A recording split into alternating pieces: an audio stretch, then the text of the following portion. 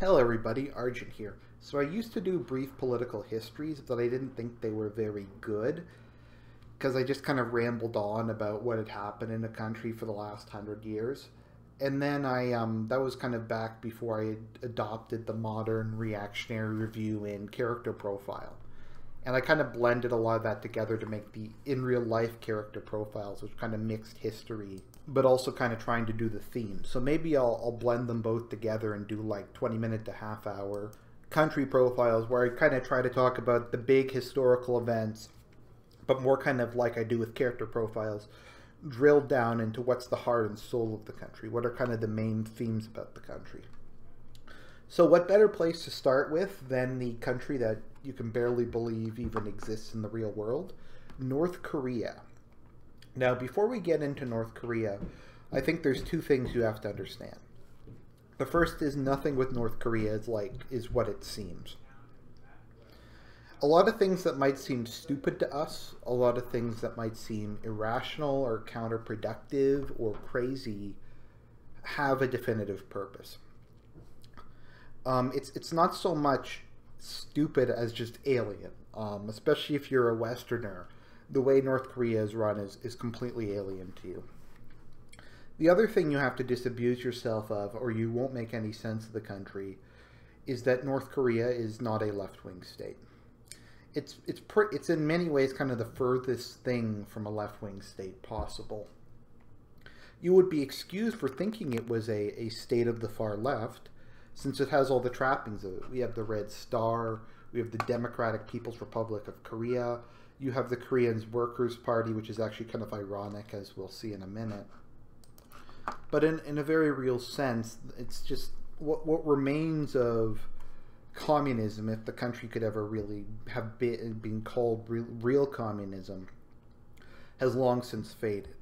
Uh, the book I just finished reading says I think there's only one picture of Karl Marx left in all of North Korea. I don't think there are any statues of Stalin or Lenin left. If you look at China, there's that really famous picture of uh, Marx, Lenin, Stalin, Mao. And you see that in um, Soviet iconography too. They have pictures of almost kind of like hagiographic pictures, so showing a procession of ide- procession of ideas. But no, North North Korea is not a Marxist state. It is not a communist state, regardless of what they say.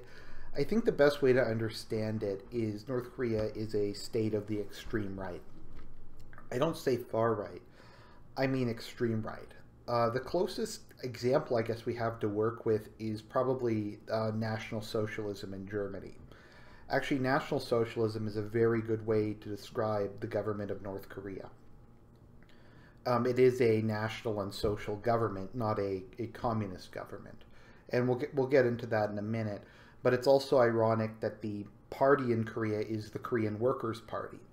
You know, uh, German Workers' National Socialist Party. Kind of an interesting parallel. Now, I don't say that as a, a slur on uh, either Korea or the National Socialist Party of Germany. I just say it as kind of a political science um, point because it's hard to find examples of extreme right totalitarian regimes. A lot of them kind of existed in countries where totalitarianism just wasn't very doable. Um, I'm sure Mussolini would have liked to have a totalitarian government um, but the Italian people are just too hard to control. Um, he tr- he tried. I remember reading whenever they tried to do kind of cult of personality or like Mussolini Day or whatever. The Italian people just took the day off and just went to the beach or whatever. And it was really hard to just get them to go along with it just because they're lower trust and they're kind of a more locally oriented people they aren't like Northern Europeans who are a lot more uniform and, and are kind of a lot easier to get to go along with the hive mind. They're more naturally collectivist. And it's kind of interesting because East Asians are like that, of course, even more so. Um, that's kind of the, the part of the joke behind China economy strong is is the kind of ant-like mentality. I mean, that's if you look at Chinese history and you look at any battle or any emperor, it always involves a staggering amount of death um, with mild concern be it building the Great Wall, be it civil wars, be it pointless fights against barbarians, you just see massive body counts wherever you turn in China. And there doesn't seem to be a great deal of concern for human suffering. Now, there's a concept that dates back from Roman times called Oriental despotism. And it's kind of contrasted with more kind of Western ideas of government. Now, Oriental despotism is basically the idea where you have a monarch who is a, a god king, or in a monotheistic religion, is the direct apostle of, of God, and he rules with absolute power. And despotism is, is a form of government where there's just the ruler and the people. There's no one in between the ruler and the people. Um, I know in ancient Greece, that's what they called despotism, and that's what they called a tyranny. It was a form of government where one man rules with the support of the masses. So that's kind of what you had in, in countries like China to a certain extent. You had the emperor who was all powerful. Um, then you had a bureaucratic class. They had some nobility, but it didn't really work like the nobility in the West. Uh, the bureaucrats in China were moved around the country they didn't really have a strong local power base. All power kind of flowed from the font of the throne. Whereas in Europe, um, power kind of flowed from the nobility up to the king. Um, as you can see in like the baronial revolts in England or any number of times in France, the nobles could and did provide checks and balances on the power of a king. In kind of an oriental or, or kind of eastern state, um, the emperor could basic or king could basically do anything they wanted. Uh, there was also in um, in the uh, kind of Sinosphere, kind of like Japan, China, Vietnam, kind of those countries. Uh, there is the lasting influence of Confucianism and Neo-Confucianism, which is all about uh, collectivism, social hierarchy, and splitting society into multiple pieces. It's especially interesting to keep in mind that in Confucianism, the lowest class of society is merchants, below even farmers and workers. Confucianism views uh, merchants and I guess kind of capitalism and the economy in general as being kind of degenerate. In contrast to serving in the army, being a bureaucrat, etc., etc. So why do I bring this all up? Why did I just do a seven minute long rant on that? because I think you have to understand all of that to understand North Korea. North Korea is in many ways um, a supremely reactionary state. It's a country that does not want to enter into the, the modern world. So let's just go over this. So we enter into Kill is Il Sung. Now, knowing exactly what his past is is very difficult because it's been mythologized so much. From what we know, though, he was a communist guerrilla who fought against the Japanese. Um, he was known and he had some fame, and the Soviets believed that they could control him. So when they invaded and took over North Korea, they set him up as a satellite state. They provided him, of course, with a bunch of tanks and weapons and stuff, and he invaded the South. And then uh, the Korean War happened, and it wound up in a stalemate with North Korea being the communist state in the north and South Korea being the Republican and eventually Democratic state in the south. So you have the um, the division of society into halves. Now it should be noted that prior to the Japanese occupying the country for only really, um, I guess it was like 40 years or so, you had 3,000 years or so where Korea was a absolute monarchy. It was a empire modeled on China. Uh, it had a class system, a caste system. It had it kind of a centralized power structure, and there was a lot of elements of civic religion. So that just couldn't disappear overnight. Um, nor could it really adapt communism as we understand it in the West, because there just there wasn't a capitalist class. There wasn't really there was a bit of a working class it's interesting because until I think it's the 1970s, North Korea was actually significantly more wealthy than the South. You see, when um, Japan had Korea as a colony, uh, North Korea is where they built all the processing plants. So they built a fair amount of industry in North Korea. The idea being they took the resources from Manchuria and the other parts of China they controlled, and then they refined them a bit in North Korea and sent them to Japan. So North Korea inherited all of that. They also got a lot of subsidies, a lot of engineers, a lot of technical know-how from the. So for um, the first couple decades, North Korea was substantially wealthier than the South because they had the industry from Japan, and then they had a lot of industrial and financial aid from the Soviet Union and China. Now, what kind of happened is after Stalin died, um, North Russia went through what came to be known as revisionism, where a lot of kind of the cult of personality was gotten rid of, a lot of the totalitarian elements were kind of stripped up, stripped out. Uh, Russia be, remained a very um, authoritarian, brutal police state, but a lot of kind of the excesses of the Stalin years were not only stopped, they were condemned. Now, North Korea didn't like this. Um, Kim Il sung had basically meant, uh, taken the trappings of communism and kind of mixed it with uh, traditional Korean government. So he ruled the country as an Oriental despot. Um, he made himself into basically a semi-divine figure, um, and and it, it's the idea that he is the divine figure, and there's no one to mediate between him and the the peasants. So you have basically the God King, and then you have the people, and there's not really anything in between. And the state as it exists exists solely as an extension of the, the great leader. I think under Juche ideology, the idea is that the the supreme leader is a conduit for, for national greatness. That the entire will of the Korean people are channeled into uh, the leader, and he is divine because of that. If this sounds a bit kind of like Hitler and Nazism, uh, that's that's because it, it is kind of similar.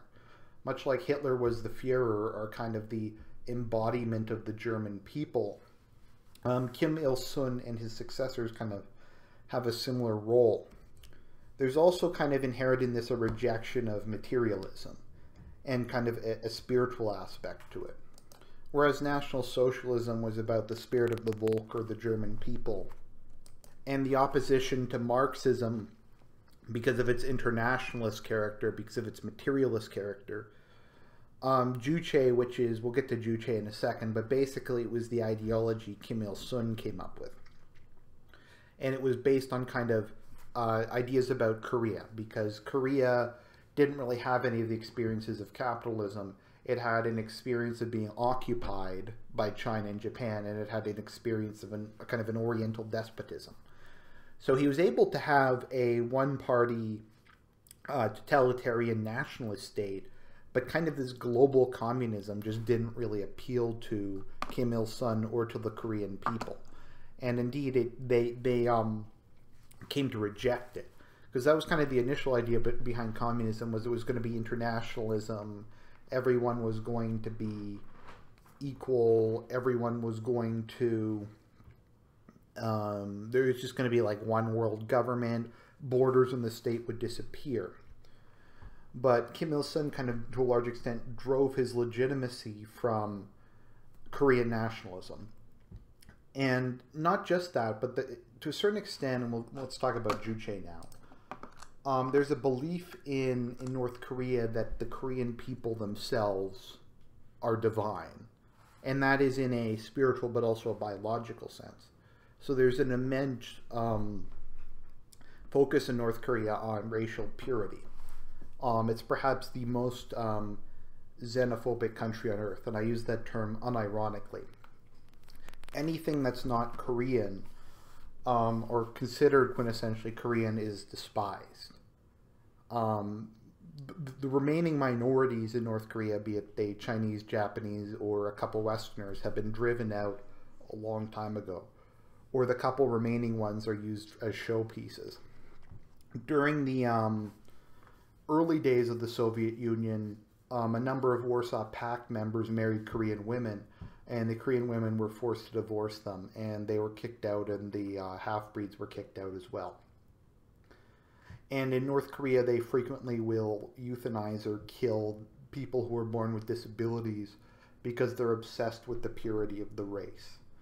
And they believe so long as the race remains pure, North Korea will remain um, a powerful country. Once again, a lot of this sounds very similar to National Socialism because Juche is basically National Socialism.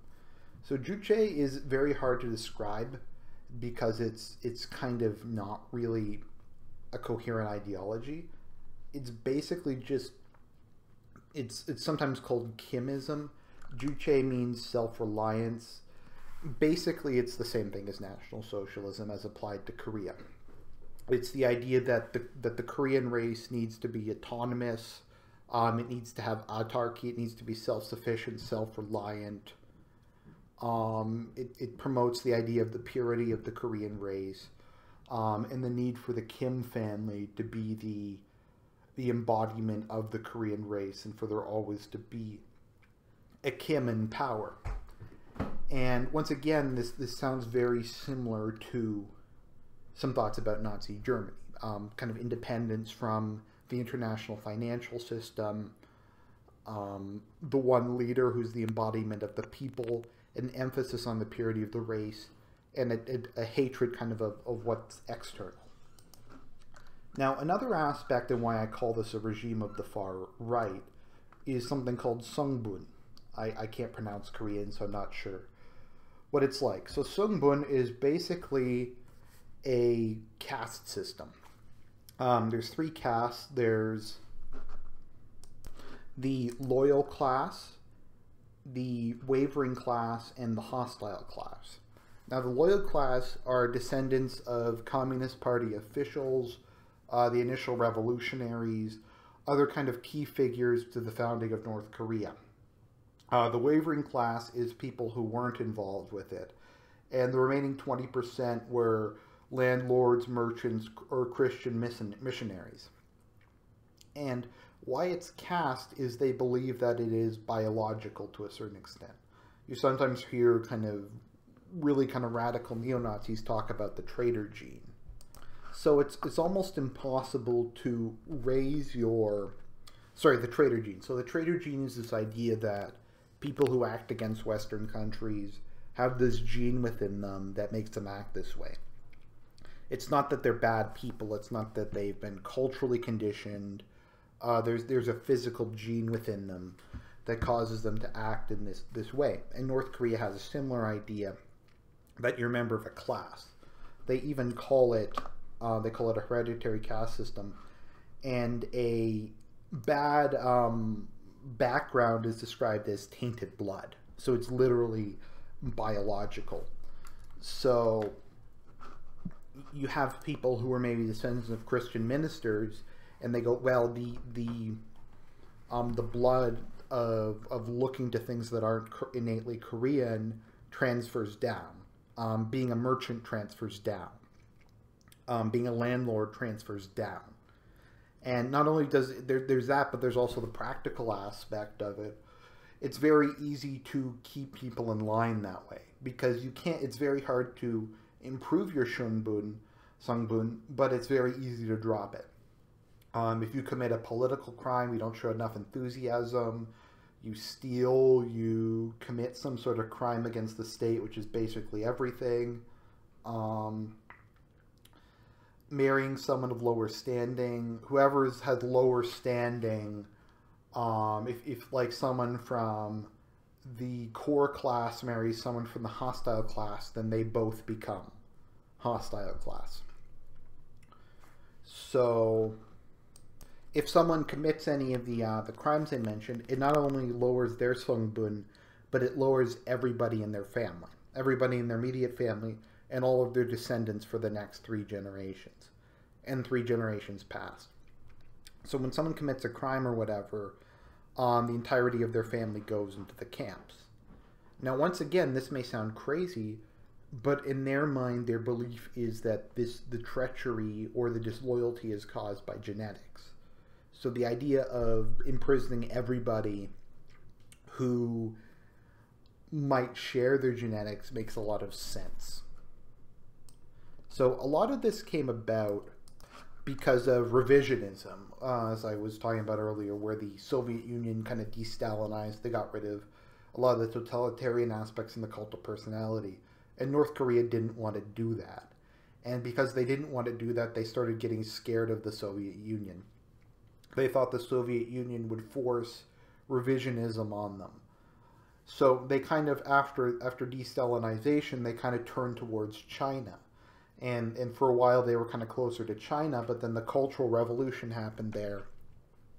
And Korea kind of became scared, North Korea became scared that China would under the radicalism of the Cultural Revolution invade North Korea. So you had kind of a couple decades where North Korea would, would switch back and forth between the two to get more and more money. And over time, um, all pretense of communist ideology was dropped, and it just basically is now an absolute hereditary monarchy um, with totalitarian elements and some communist stuff to it. Uh, I guess kind of some communist um, decals to it. You ever had that when you were a kid? You had like the little Hot Wheels car, and then you put on these these stickers, but it didn't really change anything. It just looked kind of cool. That's basically what communism is like in Korea. I mean, you have the Korean Workers' Party, but it's it's really just kind of it's kind of a mixture. I guess you could say it's syncretic, but basically what's kind of happened over time is throughout the 1980s, Soviet aid started to go down, and the industry got very old, and the country had electrical and uh, food shortages and resource shortages, so the economy kind of started to collapse. And it got it, it got when it got really bad was when the Soviet Union collapsed, and it wasn't willing to give them money anymore. It wasn't willing to subsidize them, and China wasn't particularly interested at that point in time either. So North Korea went through a famine. All the factories stopped. To this day, the um, all the heavy industry is basically either out of date or has just collapsed from misuse or can't be used because of electricity. The only part of North Korean society that still gets anything resembling adequate resources is the army. Um, they call it Sangun, I believe, or Songun, uh, which is military first, which is the idea that all the resources of the state have to be directed towards the military. Um, and North Korea is one of the largest militaries on earth, but once again, it's kind of a paper tiger. Um, North Korea's army would be destroyed in a matter of days because it's mostly from the 1950s and 60s of their equipment. It's not well maintained, it's falling apart. And against South Korea, which also has conscription and has much, much better technology, uh, they would be slaughtered. Like, even a dozen South Korean tanks, if they had enough ammunition, could probably destroy all the North Korean tanks because it has uh, Chobham armor, which is basically impenetrable to weapons made before the modern era, uh, with the depleted uranium overlay on it. So, what's happening now, and kind of what's going to happen in the future with North Korea? The reason it still exists, and the reason it will probably exist into the future, is no one has anything to gain by changing the status quo. So, let's look at the involved parties. China has to throw them some aid every now and again, but throwing them some aid is is not a huge deal. It doesn't break the bank. China has a big economy, um, and and it gives them the advantage of having a buffer state, so they're not bordering this strong American um, allied first world country with with a powerful army. In fact, China has some fears that if Korea were ever reunited under the South, that they would start getting irredentist ideas about parts of Manchuria. Now, is that plausible? Probably not, but China's pretty okay with the current situation. Um, being the kind of older brother of North Korea means that they can exploit North Korea's resources. Now, the South also doesn't have a lot to gain by the situation changing if North Korea were to fall, the government was to fall tomorrow, uh, the South would be on the hook for this basket case of a country. I've seen estimates that South Koreans are on average 40 times as wealthy as North Koreans. And you'd have to assimilate this this place, part of the country that would basically you would have to rebuild everything because everything's just complete garbage. All the infrastructure, all the electricity, all the power plants, all the industry, everything would have to be rebuilt. You'd inherit a population that's largely uneducated. Um, the education they have is not relevant. The engineering is on. The engineering is trained to use stuff that's like 50 years old. Same with the doctors. Um, most of the the intellectuals are skilled at talking about things that never happened, uh, but they're hardly modern social scientists. The book I was reading said the only group of people who would probably be able to do okay is people who teach math, geometry, and physics, because that hasn't changed that much. And they'd probably be able to keep their job.